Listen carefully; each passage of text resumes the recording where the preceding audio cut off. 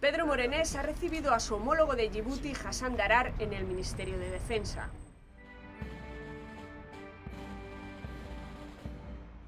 A su llegada, el ministro Darar ha sido recibido con honores y junto con Morenés han pasado revista a la fuerza.